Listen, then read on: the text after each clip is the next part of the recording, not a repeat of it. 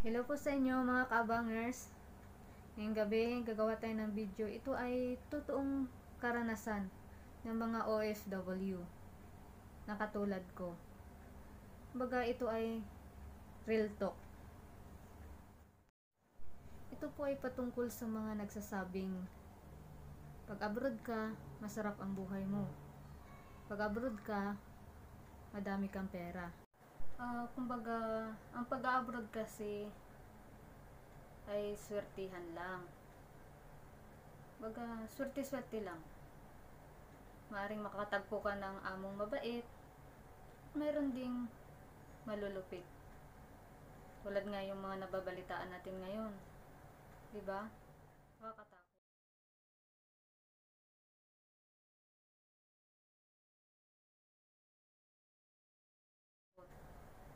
Kumbaga, pag sinwerte ka sa amo mo, swerte mo.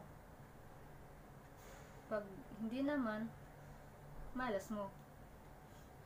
Kumbaga, yun po. Kaya sa mga nagsasabing masarap ang buhay abroad, nagkakamali po kayo. Dahil dito sa abroad, lahat tinitiis mo. Lalo na kapag ikaw ay isang kasambahay katulad ko. Baga, lahat tinitiis mo. Lungkot, pagod, puyat, tulad gote mo, ay bugs. Baga, lahat kakayanin mo. Kasi, nag-abroad ka, bago ka nag-apply dito, bumuo ka ng pangarap eh. Pangarap para sa pamilya. Kung ikaw ay isang magulang, isang nanay, nangangarap ka para sa mga anak mo. Ikaw na may isang anak, nangangarap ka para sa mga magulang mo. Kaya, sa nagsasabing masarap ang buhay namin dahil nasa abroad kami, shout out sa inyo. Hello! Siguro nga nasasabi niyong masarap ang buhay namin. Kasi nakikita niyo kasi sa mga so- sa social media yung mga post namin. Nakangiti.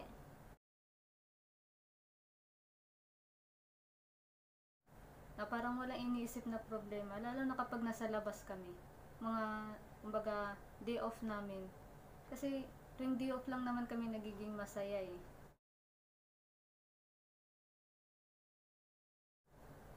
Kumbaga, nakaka salamuhan namin iba't ibang mga Pinay, pagkwentuhan, ganun.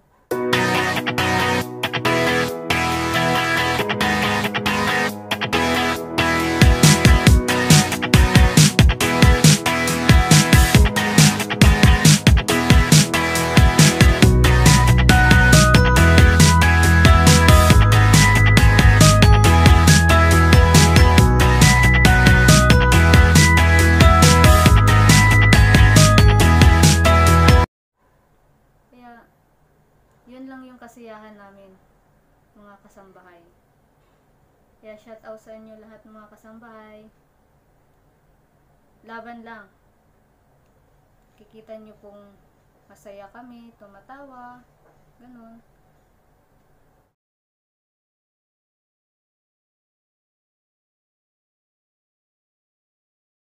Kasi ang kasiyahan talaga namin, pag nasa labas kami, picture, ganyan.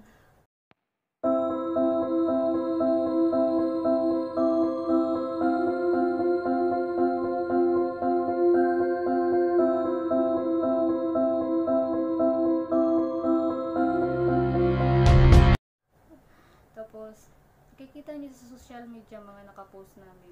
Siyempre, nakangiti kami. Pinapakita namin masaya kami. Kasi, ayaw naming ipahalata sa pamilya namin na sa Pinas na malungkot kami.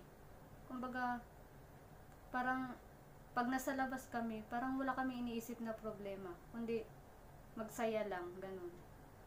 Pero totoo po niyan, dito sa loob namin ang lungkot. Lalo na kapag nag mo na lang, nakatulala ka, tumutulo na yung luha. Alam mo, yung ganong pakiramdam.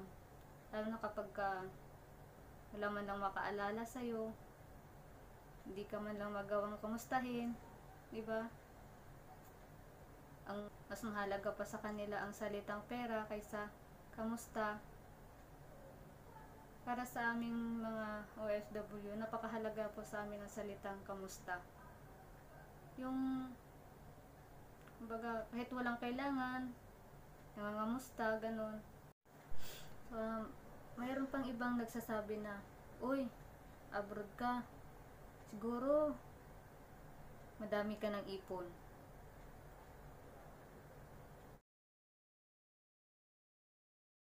Sa totoo lang, ako, wala akong ipon. Kasi, bago, ako ah, bago ko kasi tanggapin yung sahod ko, may kanya-kanya na yung nakalaan eh.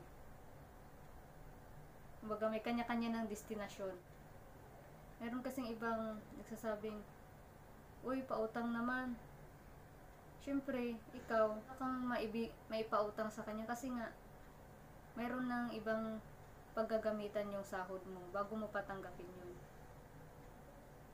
Kaya, minsan, pag di mo pa mapautang, nagagalit pa, nagiging masama ka na sa kwento nila. Masaklap doon, pinagsasabi pa sa iba na porket abroad, mayabang na. Ganun.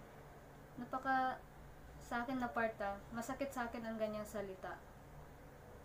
Yung di mo mapautang, kahit gusto mong pautangin kaso wala kang maibigay eh.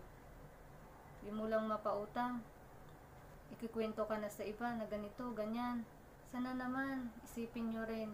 Nag-abroad kasi kami para sa pamilya namin. Kaya, sorry sa mga di napautang dyan. Shout out. Kaya, tandaan nyo po, di lahat po ng abroad ay mapera. Bago nag-apply ang isang OFW, may bu- bumuo yan ng isang pangarap. Pangarap sa pamilya, o maging pangarap sa sarili. Kaya sana maintindihan nyo kami kung bakit gano'n. Ng mga nagbabalak mag-abroad dyan, kailangan nyong magbaon ng mahabang pasensya. Tsaka, kailangan yung buo yung loob ninyo. Kasi, meron iba kasi na nag-abroad, pagdating sa abroad, gusto nang umuwi, ganun. Kasi nga, di nakakayanan ang kalungkutan. Meron pa nga iba, sobrang lungkot, madating sa point na, na nadidepress na. Yung iba, nagpapakamatay na.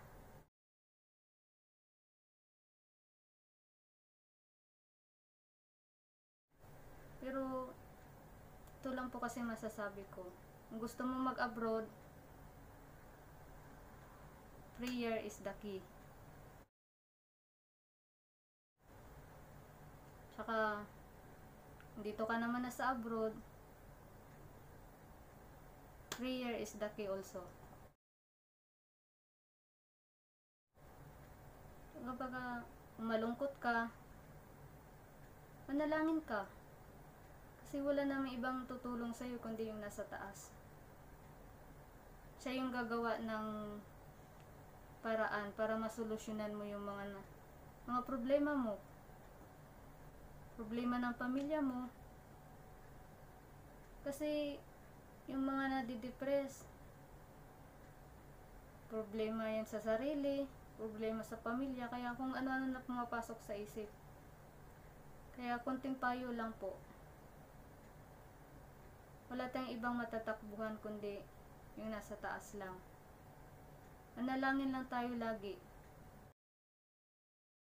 siya yung nakakakita sa atin eh, kung ano yung ginagawa natin, kung ano yung nasa loob natin. Kaya, prayer is the key. Hello po sa mga kasamahan kong kasambahay, kapwa ko kasambahay, huwag tayong mawalan ng pag-asa. Fight, fight, fight, fight, and prayer. Salamat sa inyong panonood. Huwag kalimutan, click and subscribe to my YouTube channel. Pasensya na po kayo sa boses ko kasi medyo sinisipon po ako ngayon. Masakit sa ulo sa totoo. Iba-iba kasi yung panahon dito kaya maraming salamat po. God bless you all. Pray, pray, pray, pray.